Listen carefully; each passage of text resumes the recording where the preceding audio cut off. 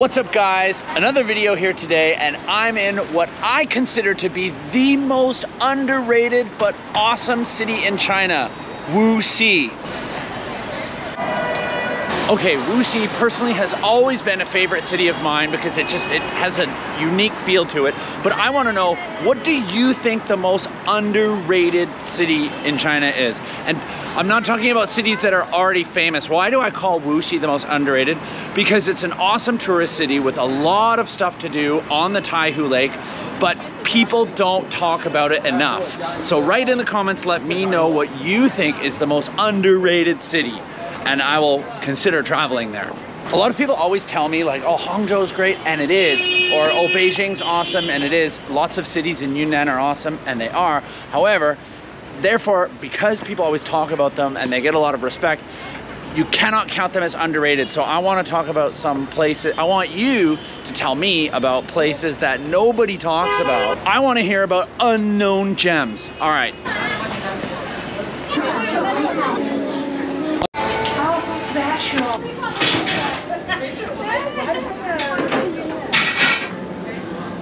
Okay.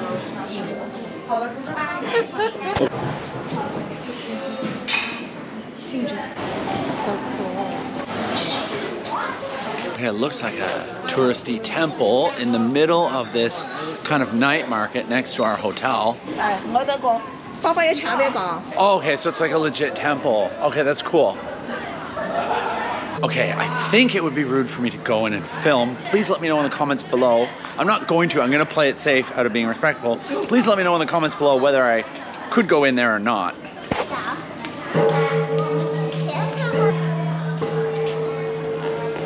Okay, now we're gonna go explore the city center because there's a lot of like different color LED lights and all these tall buildings.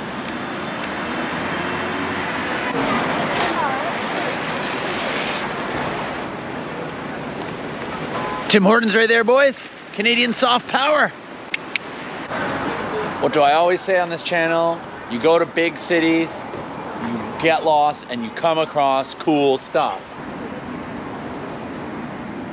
Oh, okay, so it, this actually goes like all the way around. All right, let's check it out. I haven't done a night video in so long, so I don't really know what to do. But the city is just laying out the path for me, which was the thesis of my video. Most underrated city. Okay, if you disagree with me in the whole of China, fine. But at least in this delta, all right? But hey, give me your suggestions. I wanna go to other places that nobody talks about that are cool like this.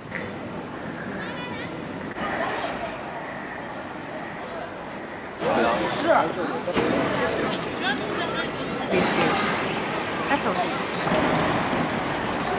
Okay, I got a little worried because uh, that's the the Ascot Hotel, uh, but then when I looked at it closer, it's not as high as our hotel, the Hyatt Regency. So, whew, can't have another hotel be the highest hotel in the land.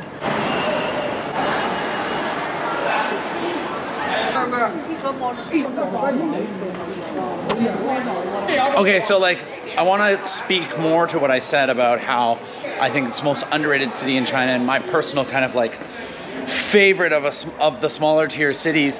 And it's kind of like there's something about it. It must be the lights, the architecture, and the the like the ancient architecture integrated into the city itself that just makes it a little bit different than your average city in this delta. It just it sometimes a lot of the cities anywhere in the world, cities in countries get repetitive and they all have those trends anywhere, whether that's in China or Canada. However, there's something about this city that kind of just sets itself apart from the other Chinese cities in this area, and I can't quite put my finger on it. What do you think? You mentioned something about like the the Buddhist culture or something is very visual, visible in this city.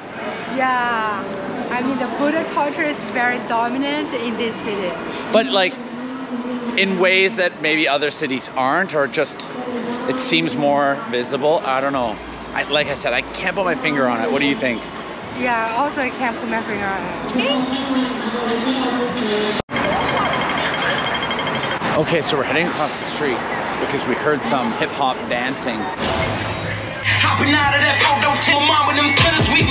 Okay, so we went over and I uh, we saw like a hip hop show. Obviously, I can show you a little clip of it, but I can't film too much of it. It was really cool. I would have liked to film more, but don't want to get any copyright strikes, Copyright violation. copyright violations.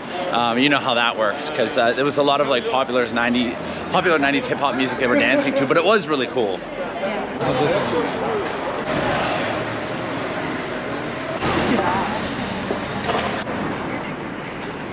Okay, so I'm starting to like figure out how, what I, what I want to say about this city. A lot of cities in China go pretty heavy on the LED lights, and this is no different.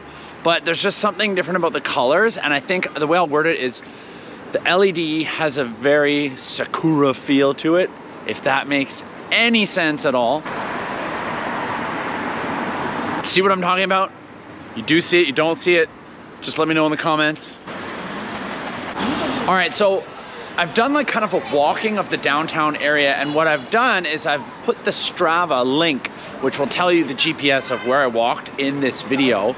And now some more information on the city. Let's go see what the best hotel in the land looks like and how much 300 Aussie dollary dues can afford you in this city. Yeah, you heard that right. I paid 300 Aussie dollary dues to stay at the Hyatt Regency in, in Wuxi. Check out this lobby. Mm. They knew it was my birthday. Tomorrow is my birthday and my video tomorrow I'm gonna be showing you more of Wuxi, but now we're gonna go swimming. But let's check out this hotel room. All right, well, I couldn't think of a better way to end today with an amazing swim at an amazing pool and a better way to end this video. But I have another video coming out tomorrow when I visit the Taihu Lake from Wuxi. So stay tuned and that'll be coming soon.